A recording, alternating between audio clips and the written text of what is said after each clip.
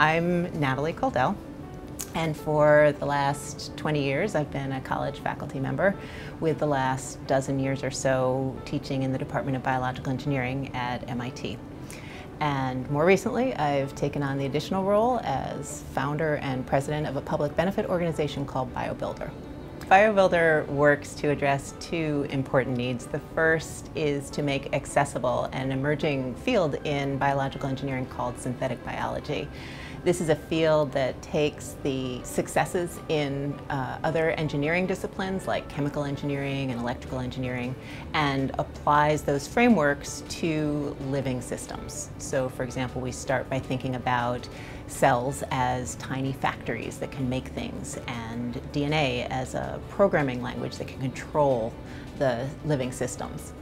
Um, the hope is that synthetic biology can turn biotechnology into something that is reliable and robust and scalable, the same way engineering turned physics and uh, chemistry into those technologies that we all rely on.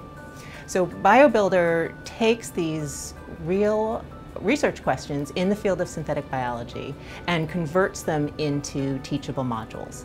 And by turning biology uh, learning, uh, framing it with engineering challenges, we've seen tremendous success uh, in the classroom with students being exceptionally engaged and interested and uh, understanding these fields better and better.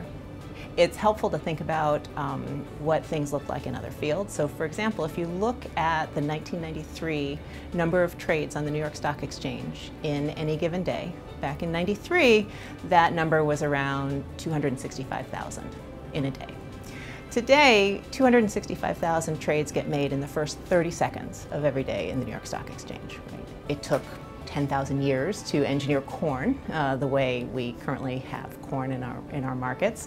150 years ago or so, Mendel was discovering the rules of inheritance, and then 60 years ago, uh, Watson and Crick looked at the structure of DNA and defined that. Um, 20 years ago, we had the first genetically modified produce onto the market.